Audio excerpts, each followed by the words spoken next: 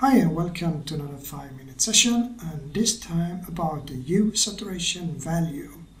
Hue saturation value is good for creating colors so you use an other method compared to using RGB and I can go through it right now. So pressing shift A go to color and there you will have hue saturation value. So hue saturation value, what is it? Well, you have a color here and that color will be changed using a wheel or rotation you could say. So you have different color changes or offsets from this color on different type of degrees.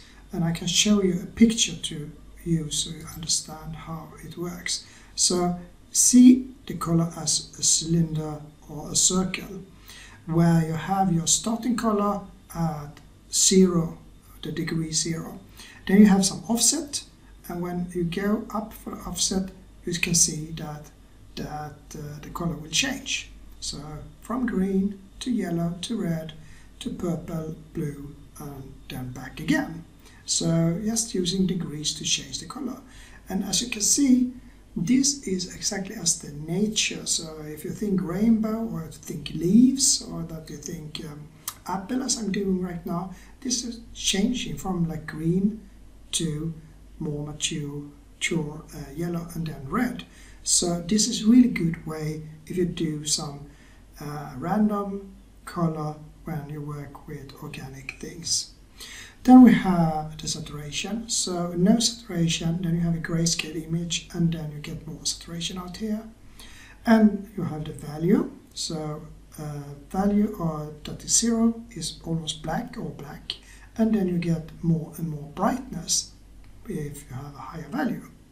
So that is the hue saturation value, how it works. So let's go back to Blender and see some practice use of this. So I have this apple here and the apple is green so I drag this to the green and since the hue now is 0.5 that means that I will not change the color so that color is the same but if I change something here you can see that I get some offset now and if I drag this to 1 I get this pink and if I drag it to 0 I get the same pink so then we have the complete circle and then between we have all the changes here Two, then change it so we get small variation. We see more yellow here, it's more green here, and then it's more yellow here.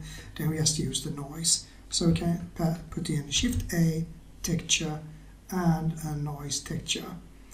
So we have that, and then you can just take the factor to the hue, but right now, if you do that, you can see it's way too much. We need smaller values to work with.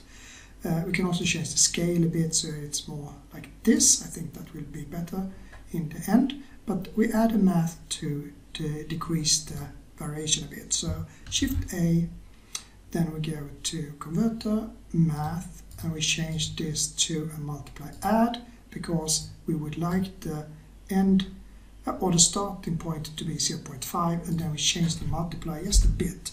And if we put it to 0.1, we go on the blue direction. And if you remember the image that was the wrong way. So we can then use a negative 0.1 and now you can see they are almost identical just by that smooth transition between green and yellow and then they have all these small dots and since I only have five minutes I don't have the time to do all the dots for you but if you go to lesson 17 there you have Voronoi where I explain how Voronoi works and that is what we can use here. So if I just put this result into the surface, you can see that I get all these dots here that I can then use for this apple here. So that is really easy to do if you know how to use Voronoi. Now we need to connect that uh, in a good way and make it even more realistic, this apple. So then we can just add another hue saturation value and put that in here. And here we can use the color that we have here and then use 0.5 here as well. Uh, and all we have to do now really is that we can change the factor because the factor can then uh, tell how much we should use of this. And if we put in uh, the result into the factor here, then we can play with the stuff up here to then change stuff. You can see, and then we only change uh, the points here. So let's say we use this to 0.5, but we perhaps uh, increase the value a bit because as you remember the value was the brightness then you can see we get exactly the same thing here. So now we have this structure of the apple using only hue saturation value.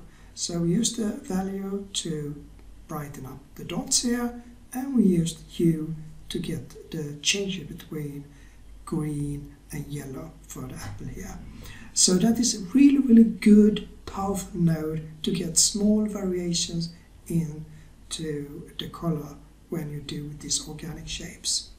Okay, on almost six minutes, so I just say bye for now, see you tomorrow.